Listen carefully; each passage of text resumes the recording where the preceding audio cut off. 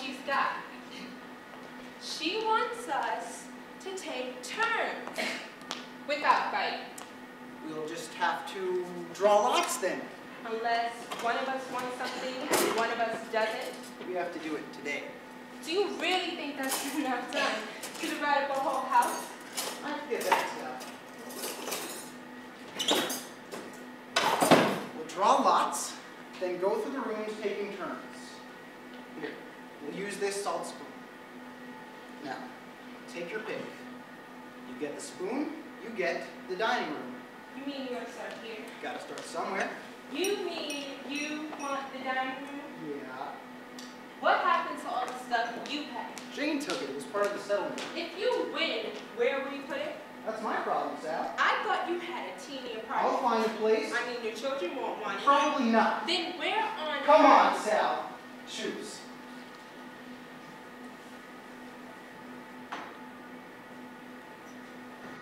You don't want it. Oh, no.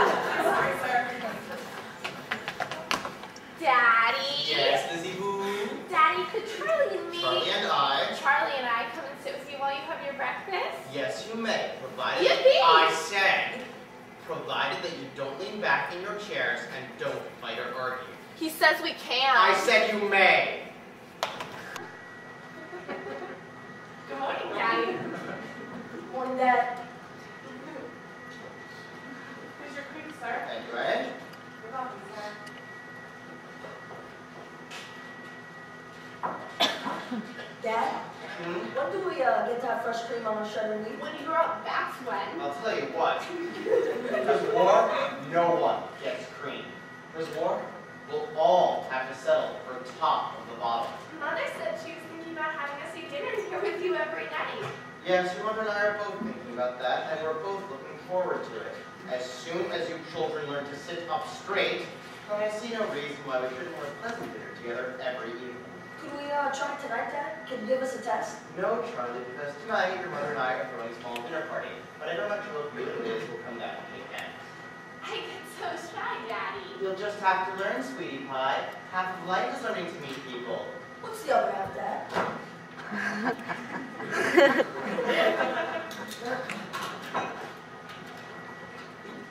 Was that a crack? No, Dad. That was a crack, wasn't it? No, Dad, really. That sounded very much to me like a smart guy wisecrack. People make cracks like that don't normally eat in dining room. I didn't mean it as a crack, Dad. Fine then.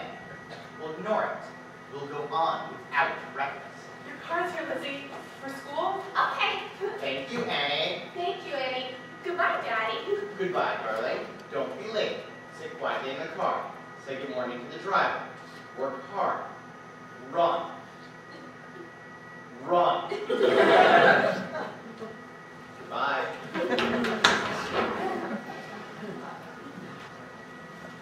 Dad, could I uh, read the funnies? Certainly. Certainly you may.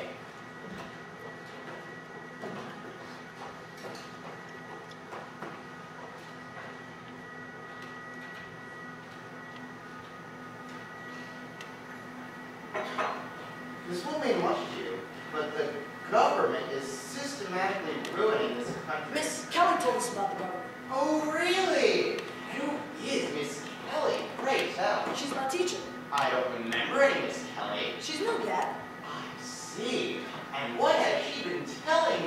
said there's a depression going on. People all over the country are standing in line for bread. So the government has to step in and do something.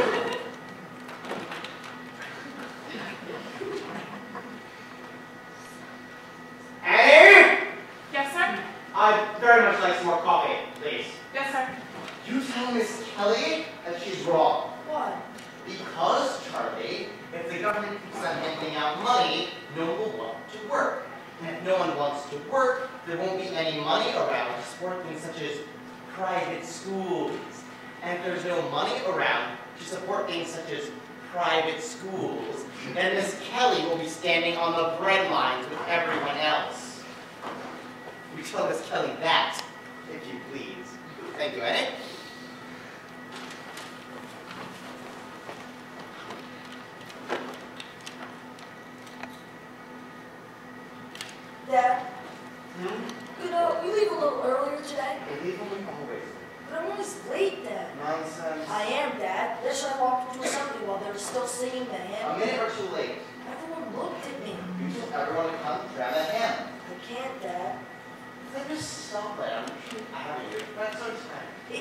Not just the new software, Dad. Sometimes I come in when they're already doing arithmetic. Miss Kelly tells me I should be more punctual. It's Kelly again, huh? She said if everyone is late, no one will learn mathematics. You listen to me, Charlie. Miss Kelly may be excellent teacher. Her factoring may be flawless. Her geography beyond question. But Miss Kelly does not teach us politics. Nor does she teach us how to run our lives. She's not going to tell you or me leave in the middle of a pleasant breakfast and get caught in the bulk of morning traffic get around on time for some silly hymn. Long after you've forgotten that hymn, long after you've forgotten the factor, long after you've forgotten Miss Kelly, you will remember these pleasant breakfasts around this dining room table. and here is your mother to prove it. You have that indefinable something.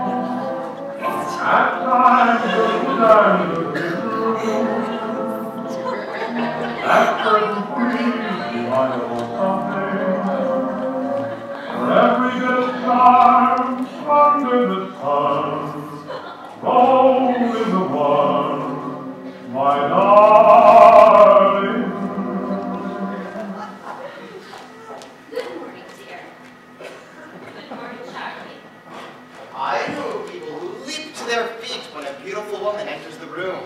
Oh, that's all right. I also know people who rush to pushing their mother's chairs. Thank you, dear. And finally, I know people who are quick to give their mother the second section of the morning paper. Hey, Mama. Thank you, dear. Now, Charlie, take a moment, if you would, to look upon your lovely mother, bathing in the morning sunlight and reflecting the dining table. Oh, Which is worth our attention? Your mother or Miss Kelly? Who's Miss Kelly? Never mind that. Shoes, Charlie!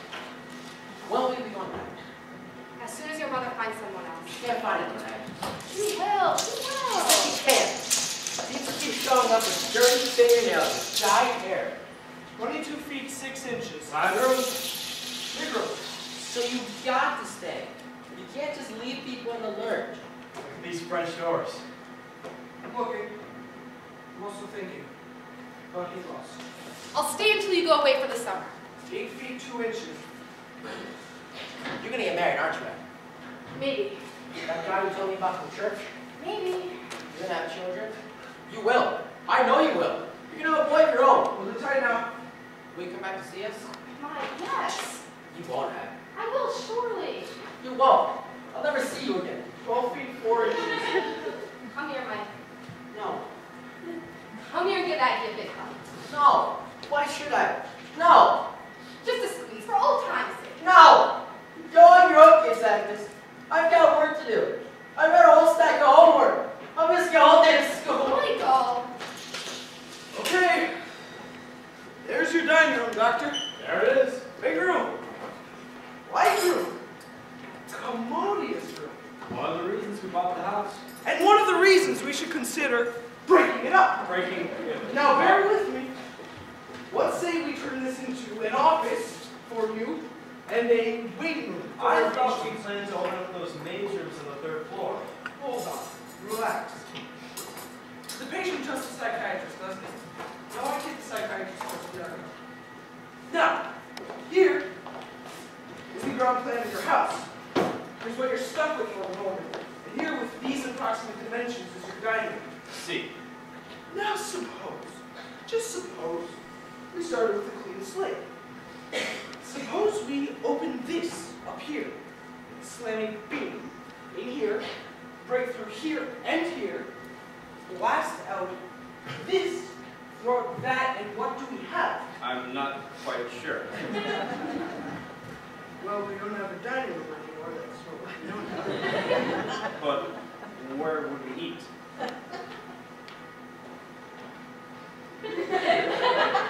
Here! Right here! Look! I'm putting in an eating area. Here's the fridge, the cooking units, Cuisinart, butcher block table, chrome chair. Look at the space. Flow. White goose. Insert the table. You stack the dishes. All right here. Do not sleep. In your own home. Now, let's review your day. You come down to breakfast. Everybody's fixing their own thing. Eggs, cornflakes, poppers, whatever. You eat, chat, read the paper, say goodbye, come in here. You go to work. Do you have a nurse for reception? No, no, I'm just a little trick. Well, you come in here to the reception room. Maybe just the magazines on a table here. Maybe add your newspaper to the pile. Then go to a soundproof door into your office. You Turn on a stereo console. Here. Maybe select a book from all unit here. Then settle behind your desk module. You read. You listen to music. Soon, buzz. Patient arrives. Turn off the music, put aside the book, and buzz him in through the soundproof door. He flops on the couch. Here. Down to the street. You look out the window. Here. He leaves. You write him up. He's buzzing the next. Soon, it's time for lunch. Come here, have lunch with the wife or one of the kids, and then slow. Or, now. More buzzes, more patience, and soon it's time for a good, easy, cooperative supper. Your fate. But not in the dining room. No, not in the dining room. This room has such resonance. So does the church. That doesn't mean we have to live in it. Look, I know whereof I speak. I grew up in a room like this. Oh, yes? Oh, sure. This is home turf to me. Really? Oh, God, yes. My father said to her just like that. And my mother here, my sister here. And I sat right here. Hmm. Oh, it all comes back. Do you want to tell me about it?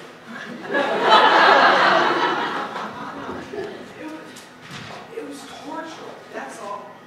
Those endless meals waiting to begin waiting for the dessert, waiting to be excused so they couldn't lean on you anymore. Wasn't that bad? oh man, it, it was brutal. I remember one time, I, I, came down to the table without washing my hands, and, and my father. Go on.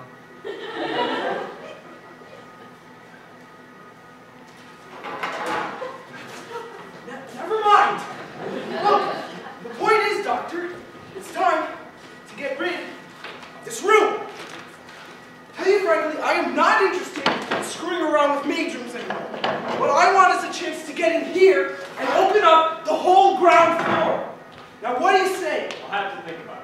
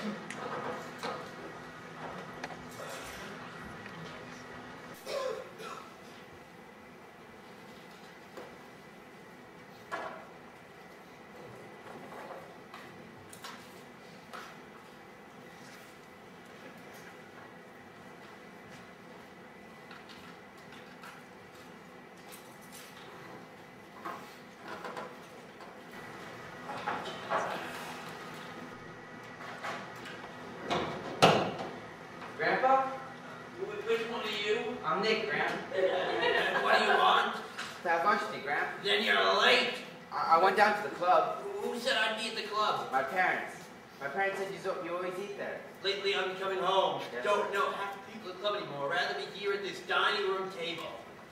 Dora takes care of me, don't you, Dora? Yes, sir. While you track me down anyway, now show some enterprise. Bring in some lunch, Dora. Yes, sir. Thank you, sir. So, so you're a Nick, eh? Yes, I am. You're the one who wants to go to Europe this summer? No, that's Mary, that's my cousin. You're the one who wants the automobile, she can't go to college at the automobile. No, no, that's Tony, that's my brother, Graham. Then what do you want? I don't really want it. Everyone understandably wants something. Usually it's money. Do you want money? Yes, sir. For what? My education, grand. Education, eh?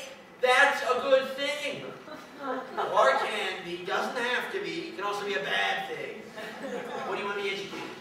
St. Luke's School in Litchfield, Connecticut. Never heard of it. It's an excellent boarding school for boys. Is it Catholic? I don't think so. Sounds Catholic to me.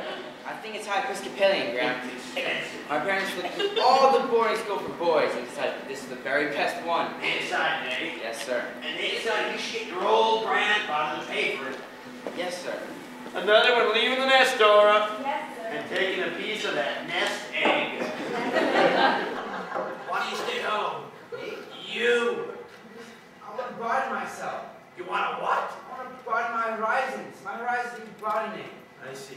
And plus, I mean, interesting new friends, Graham. Are you visiting friends here? Sure, I do. I do. I have visiting friends here. I know a man who makes boats in his basement. I know a man who plays golf with his wife.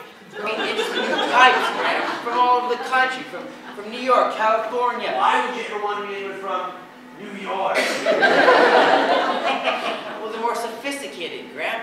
They'll, they'll buff me up. Now what? They'll buff me up. My mother doesn't need buffing up. You think he's buffing up, Dora? No, sir. Dora doesn't think he's buffing up. I don't think he's buffing up. You'll have to give us better reasons. Um, well, they have advanced light in there. I see, Anne. And an indoor hockey rink. Yes, Anne. And, and beautiful grounds and surroundings. Don't we? Don't we have beautiful surroundings? Why don't we go away have beautiful surroundings? I don't know, Grandpa. All I know that everyone's going away these days. Everyone's going away. Hear that, Dora? Everyone's going away. An awful lot of people are going away, Graham.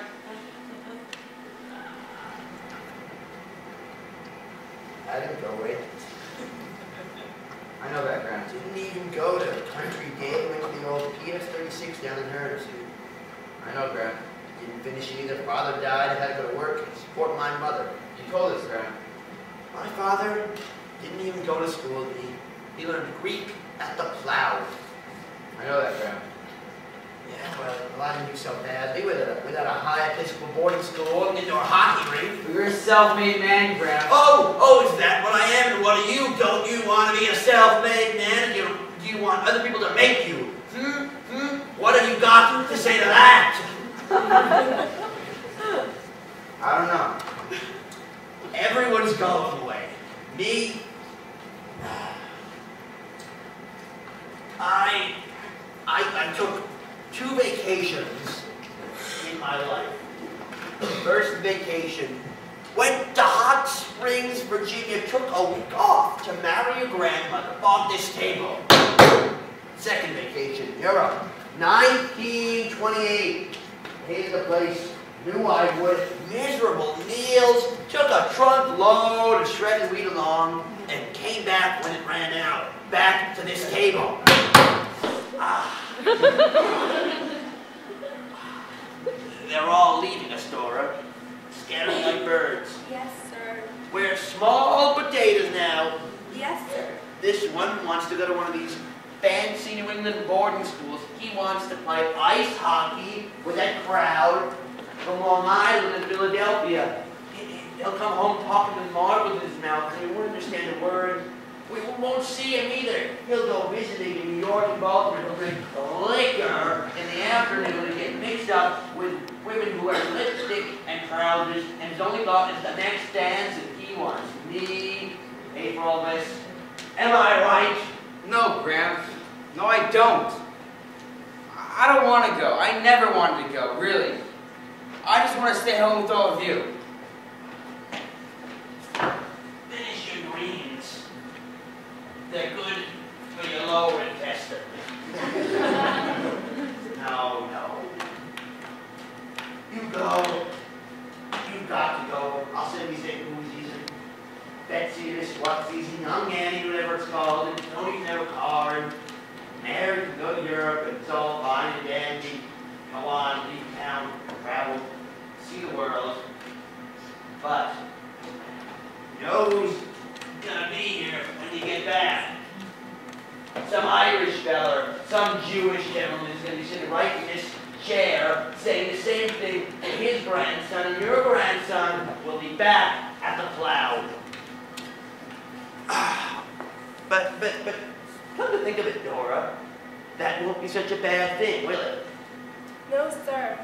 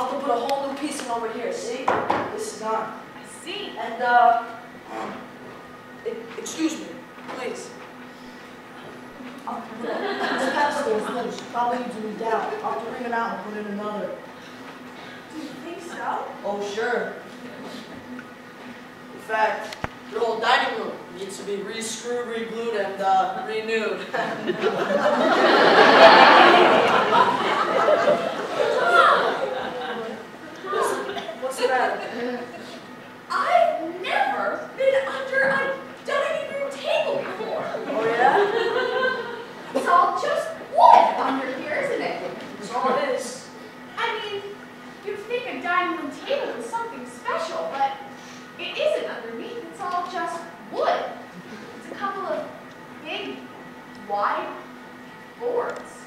That's right. What's this here? What's what? Well, you'll have to come back under the seat. There's some writing burned into the wood. Where? Right here. Freeman's Furniture, Wilkes-Barre, Pennsylvania, 1898. Oh, uh, that's the manufacturer's mark. 1898? That's what it says. But that's not so old. That was made in 1898. That's not old at all. It's not even an antique. It's just American. Well, uh, there's a lot of these around. They used to crank them out at the end of the 19th century. Now, aren't I dumb? For years we have been thinking it's terribly valuable. Well, uh, it is in a sense. It's a well-made, solid, serviceable copy based on the image. Well, I'll be darned. You learn something new every day? You must know a lot about furniture, don't you? I'm, I'm beginning to. Beginning to! I'm sure your father was a cabinet maker or something. He was a banker. A banker? And uh, I was a stockbroker before I got into this. I decided I wanted to see what I was doing and touch it and see the results. So I took up carpentry. I am amazed! I mean, I know stockbrokers. Is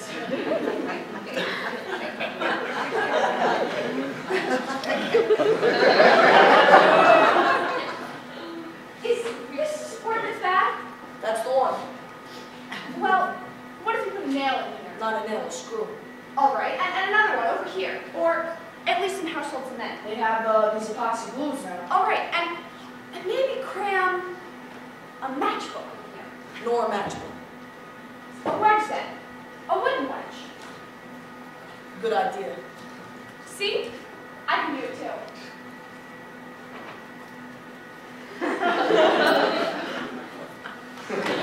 so, well, will you be taking the table away or can you fix it here? I can fix it here if you want. That might make more sense. My husband used to ask for written estimates, uh, materials and, and labor. I, I could write one up. I could help on the labor.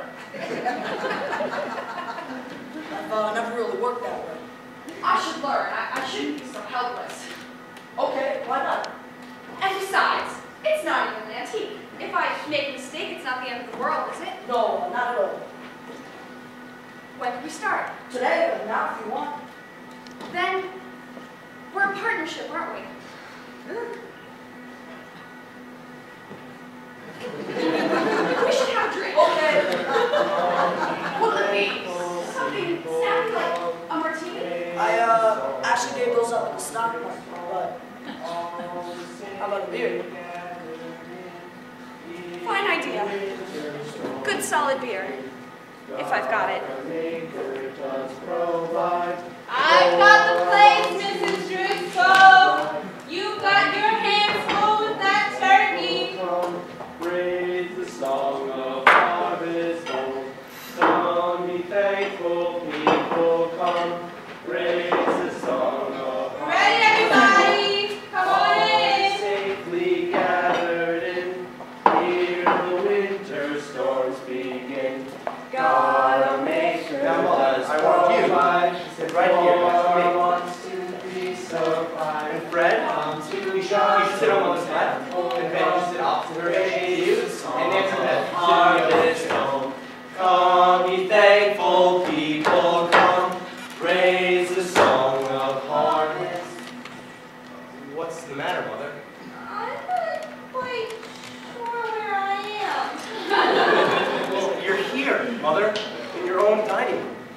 table, and, and your chairs, and the china that you got from your trip to England, and, and here, this is the carving knife which Father used to use. Oh, yes. Uh, she gets along sometimes. Who are these people? I'm not quite sure I know who these people are. Well, it's me, Mother Stewart, your son, and, and this is Ben, your second son, and his wife Beth, and, and this is this is your youngest son Fred, and that's my wife Nancy. We're all here, Mother. I'll get the turkey. That's my cocoa focus. Yes. Uh, Mrs. Driscoll is here, Mother, in, in the kitchen, where she's always been. And your grandchildren are here, too. They ate first, and now they're out back to watch football. You watched them, Mother. Oh, yes. Hey, look at the turkey! Oh, And, and here's the answer to the turkey. Put it right over there in front of my chair. And isn't it a beautiful bird, Mother? And I'm going to carve it just the way Father did. And give you a piece of breast and a dab dressing, just as always. Just as always. And Fred, you like the drumstick, right? And Beth, you get the wishbone. And Ben, you like the pope's nose, right? Save some for Mrs. Driscoll. I always do, Nancy. Mrs. Driscoll likes second joy. This has been absolutely lovely, but I think it's time to go home. Mother, you are home. You lived here 52 years, 54. Forever. Uh, Ben, thanks for the mother. Thank you very much, but I really do think it's time to go. Oh, mother? Will someone drive me home, please? I live at 18 Summer Street with my mother and sisters. What do we It's do? not there now, mother. Remember, we drove down. There's a big building there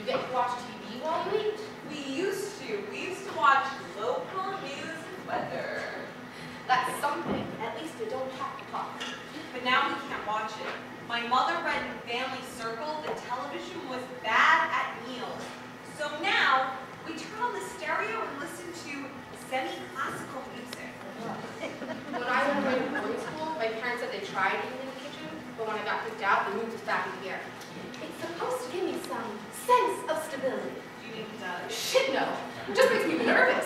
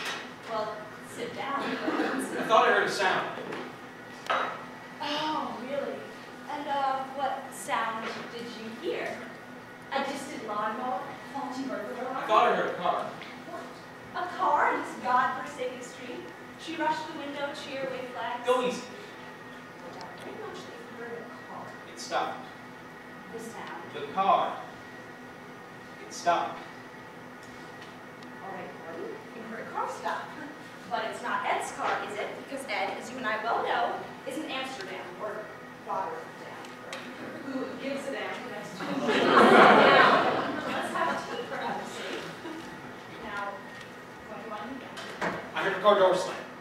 Oh, really? That's because cars have doors, and people, when they get really frustrated, feel like slamming them. I'm going. Oh, I see how it is. A quick tumble with the bored wife of your best friend. There's someone at the front door. No. Yes. Someone with a key. Huh?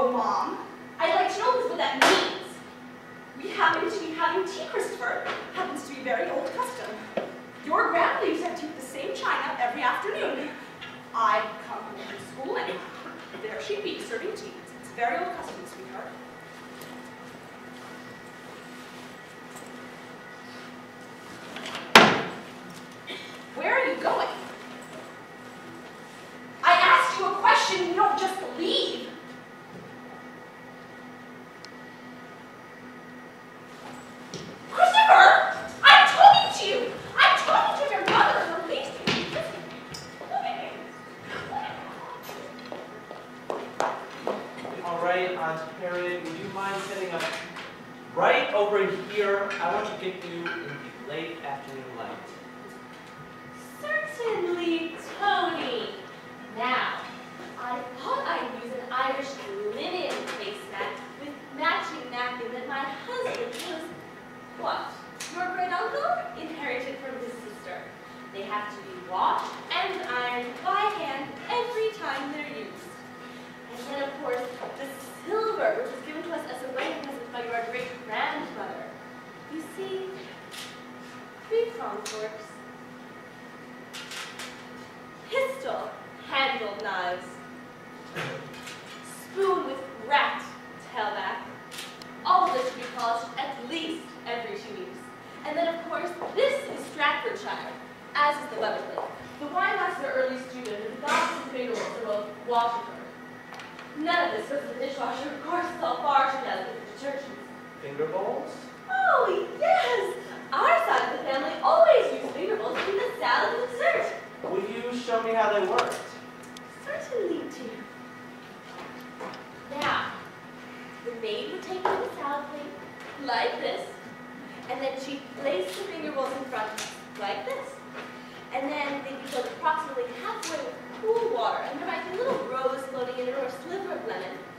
Now, our napkins would be on our laps, like this, and then we place our hands into the finger bowls, gently, gently, and then shake them wiggle them out, and then dab them on our napkins, and then dab them on our lips, and in would come a nice sherbet or chocolate mousse. Thanks, Aunt Harriet. That was terrific. You're welcome, dear. Now tell me again what all this is for. I didn't quite understand over the telephone. Uh, it was, this is a classroom project for Amber. Oh my, a project? And what pray tell? Anthropology, actually. Anthropology. Heavens! What does that have to do with this? Well, you see, we're studying the, uh, the eating habits of various vanishing cultures. For example, uh, someone's talking about the Cree Indians of Saskatchewan. Or my roommate is talking about the Kikuyus of northern Kenya. So uh, my professor suggested I do a presentation on, on us. The wasps. uh, in northeastern United States. I see. You know, we learn so much about a culture from how it eats. Such as what? Well, take these finger bowls, for example. There you have an almost neurotic obsession with cleanliness, reflecting the guilt brought upon by the last stages of capitalism. or the unnecessary accumulation of glass and china and the compulsion to display it. Or the subtle hint of aggression in his pistol-handed knives. I I'm going to have to ask you to leave, Tony. Aunt Harriet? I was going to invite you to stay for a cocktail, but now I won't. Aunt Harriet? Out! Right now! Before I telephone long distance to your mother! Vanishing culture, my eye. I forbid you to mention my name or show one glimpse of my personal property. And you can tell that professor of yours that I have a good mind to drive up to Amherst with that pistol-handled butter knife on the seat beside me and cut off his anthropological balls!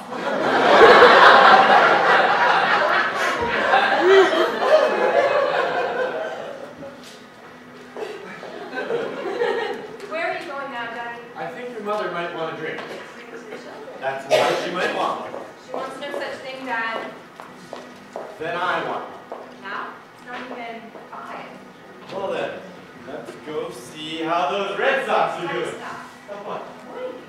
Ever since I arrived, we've only talked. Good lord, what do you mean? It seems to me everyone's been talking continuously and simultaneously from the moment you arrived. Alone. I mean alone. And you know I mean alone. All right? We'll talk. Right here in the dining room.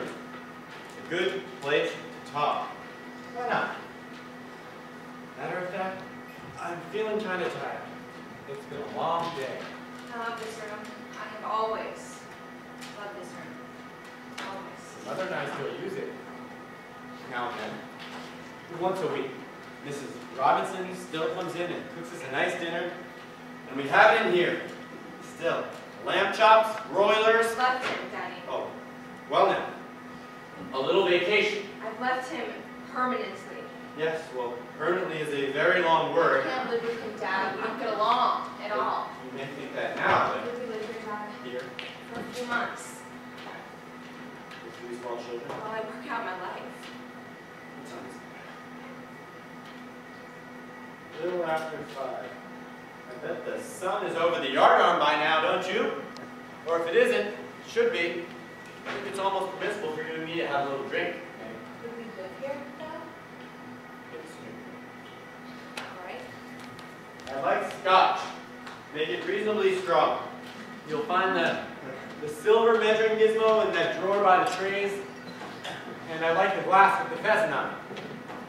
And not too much ice. Alright. I saw Mimi Mott the other day. Can you hear me? I can hear you, Dad. There she was, being a very good sport with her third husband. Her third, who was deaf as a post and extremely disagreeable. So, I took her aside. Can you hear me? I can hear you, Dad. I took her aside and I said, if you had made as much of an effort with your first husband as you have with your last two, don't you think you'd still be married to him? I asked her that. Point blank. And do you know what she said? She said maybe. That's exactly what she said. Maybe. If she had made the effort. That's your generation, That's every generation. It's not mine. Every generation has to make an effort. I won't go back to him, Dad. I want to be here. I wanted the glass with the pheasant on it. Oh. So, can we stay, Dad? I sleep in your room now. Your mother kicked me out because I snore. and we use the boys' room to watch TV. We rooms? close them off because of the oil. I don't care, Dad. We'll work it out. Please. Give it another try first. No. Another try. It's not someone else, Dad. She's living there right now. She's moved in. Then fly back and kick her out. Dad! I'm serious. You don't know this. One time I became romantically involved with Mrs. Schumacher. We took a little trip together to Sea Island. Your mother got wind of it and came right down and told Betty Schumacher to get on the next train. Now, why do you do that? We'll see what the children want you to do. I've got someone too, Dad. Someone else. I've had a little fling. You mean you've had a little fling? I've been going with someone. Where was your husband? He stayed with his girl. And the? They came and went. Sounds a little complicated. It is, Dad. That's why I needed to come home. Now, let's review the bidding, may we? Do you plan to marry this new man? You're not in love with him. No. And he's decided he loves his wife. No. Or you decided you don't love him Yes. or your husband. Yes. And your husband's fallen in love with somebody else. He lives. And your children, my grandchildren, come and go among these various households. Yes. Sort of. Yes. Sounds extremely It complicated. is, Dad. It really is. Well then, it seems to me the first thing to do is to simplify things. That's the first thing. Tell the person you're living with to leave. You sue your husband for divorce. You hold on to your house. You keep your children in their present There's schools. someone else, Dad. Someone else. someone else entirely. Third person. Yes. What was that movie your mother and I liked so much? The Third Man? It's not a man, Dad. Not a man. It's a woman. A woman. I've involved with a woman, Dad, but it's not working, and I I don't know who I am, and I thought I'd touch base, Daddy. I want to be here. I think I'll get her a repair. Would you like a repair? I'll take your glass. I'll get us both repairs. I'm all mixed up, Dad. I'm all over the ballpark. I've been seeing a crisis counselor, and I've taken a part-time job, and I've been jogging two miles a day, and none of it's working. I want to come home. I want to take my children to the zoo and the park lake and the art gallery and do all those things you and Mother used to do with all of us. I want to start again, Dad. I want to start all over again. I made one for your mother, and I found the glass with the vest on in the trash. Somebody broke it. Let's see, a nice cocktail with your mother. The children will sit quietly while we do. You don't want us here, do you, Dad? Sure we do. A week, ten days, most of all. I can't go back, Dad. Neither can I, sweetheart. Neither can I.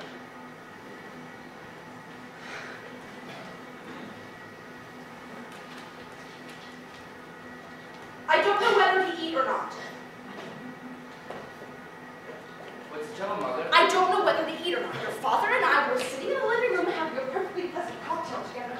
When all of a sudden that stupid telephone rings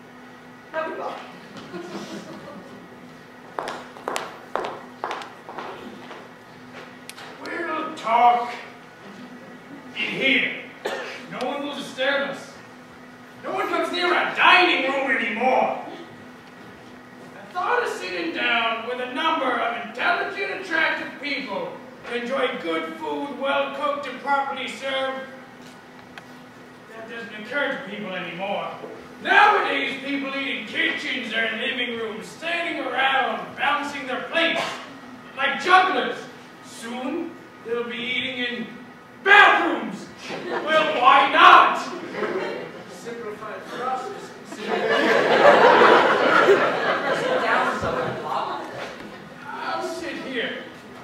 We can look out. There's a purple finch. Comes to the feeder every evening. Brings his young.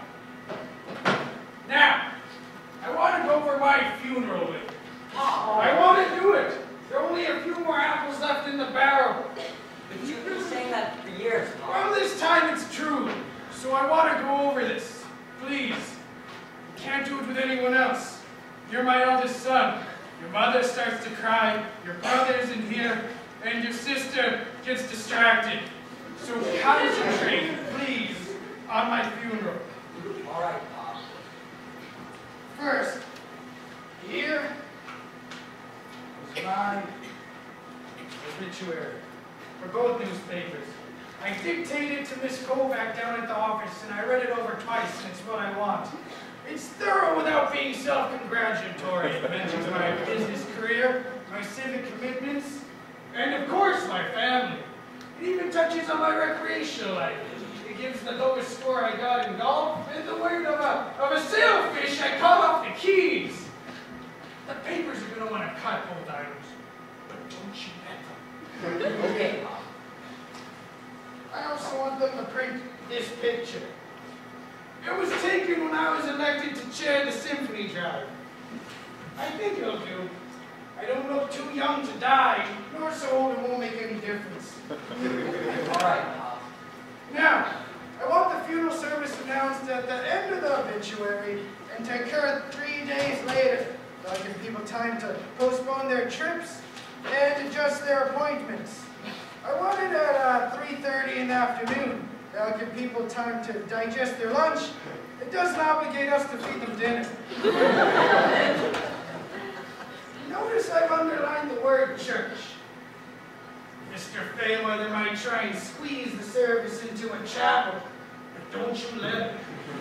I've lived in this city all my life, and I know a great many of people. So if you see anyone milling around the door, go right up to them and find them a place to sit, even if you have to use the folding chairs. Are, are we clear on this? Yes, Pop. Now, I've listed the following works to be played at the organ by Miss Manchester. This Bach, this Handel, this Schubert, all lively you'll notice, nothing gloomy, nothing grim. I want the service to start promptly with a good rousing hymn.